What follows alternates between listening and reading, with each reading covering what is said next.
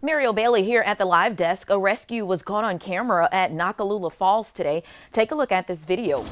We received this video from a viewer. ALEA says its aviation unit responded to assist Gadsden Fire Department. You can see the helicopter lifting an injured patient out of the gorge. No word on their extent of injuries.